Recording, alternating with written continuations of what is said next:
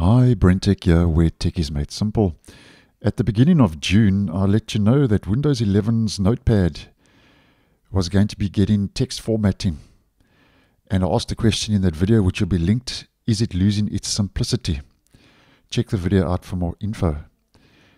Now, just to let you know that the basic text formatting features have now arrived in my region, and this has been rolling out using a controlled rollout very slowly to different regions at different times. And today I noticed I finally received it. And the last update I received for Notepad was sometime last week. So this looks like it is definitely a controlled server side update for the text formatting features. So here you can see the formatting toolbar that's now at the top of the app. Now just to go through this step by step in case you're unaware. First of all, you can click on H1 which lets you pick your preferred heading. As an example, title, subtitle, subheading, section, subsection, and body. And the next would be lists, so bulleted list or numbered list. You can you can make your text bold. You can apply italic. And you can add a link, display text, and you can link to an existing web page. If you insert the obviously the web page address.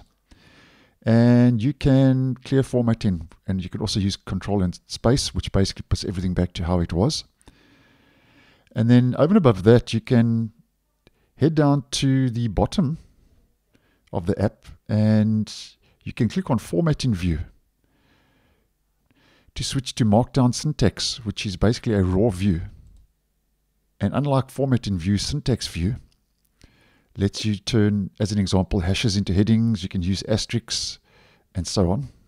And this text formatting is also known as Markdown. And it's turned on by default in the settings. Now, in the previous video, as mentioned, which will be linked, I said, is it losing its simplicity? So the good news with Notepad, it's been a basic text editor now for as long as I can remember in Windows. And obviously, over the last year and a bit, Microsoft has been adding a lot more features into the Notepad app. And that's obviously because they have deprecated WordPad, and a lot of those features are now making their way into Notepad, plus a lot of Copilot and AI features which you need to be subscribed to 365 to use. And as I've mentioned previously, if you don't want any of this extra fluff and you don't want to just keep Notepad simple as it used to be, you can turn all these features off. And if you want to turn text formatting off, you head into your settings.